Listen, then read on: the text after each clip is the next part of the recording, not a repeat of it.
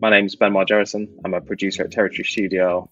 We like to think that we take a unique approach to motion design um, visual effects and digital experience. One of the great things about CineSync is the quality of the reviews. Everyone who joins us CineSync downloads the footage, so you're reviewing things to their true resolution. And the way that we use CineSync day to day, we use it a lot internally. It's especially useful in VFX and broadcast. It's just a really great tool for identifying issues, and it's just a really good place to host creative discussions. We currently use CineSync as just a standalone tool, although we know it could be more streamlined. It has the capabilities to feed into project tracking tools, and it is something that we've been looking at. It really is like a wonderful tool. It'd be that internal reviews or reviews of clients. I mean, everyone in the industry, it's what works the best, and it's what gives everyone the best results, which is why across the board, anyone that we speak to in the VFX or broadcast, especially, we do our reviews through CineSync, and it's not even a question of if we have it.